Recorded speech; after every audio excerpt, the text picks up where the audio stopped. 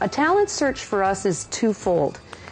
A talent search is to find new ideas and inspirations. Okay?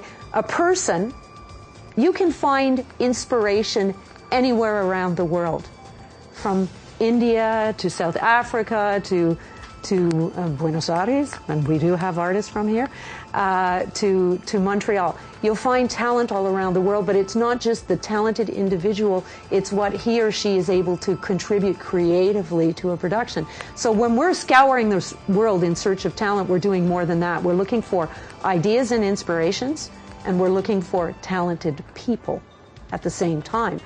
Uh, the, the creative, the talent search process, if you want to call it, we call it casting. Okay, Okay. this is the term we use.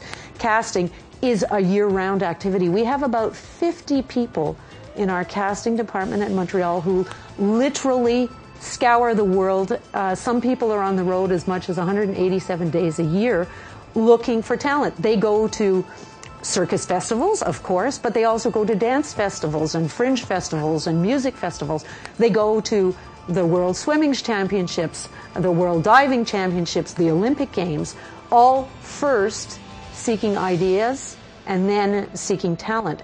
Then, when we see people who are talented, and talent is half of the equation, there's a second half to the equation. Which is? We bring them, we bring them to Montreal, and we push them to their limits, okay, from their talent point of view, but at the same time, we try to evaluate their core human values that we're seeking in Cirque du Soleil members.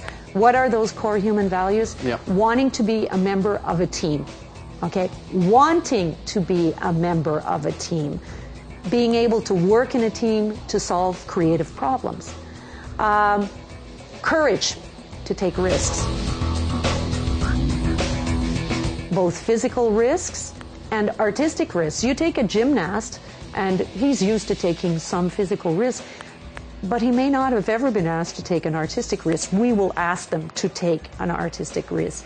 Generosity, not only toward the spectator, because they're our audience, but also in sharing their creative ideas with other people in a team. A lot of people like to keep the best uh, for themselves a willingness to participate in their own artistic growth. We don't want people who arrive in our studio and say, just teach me how to dance or teach me how to sing or teach.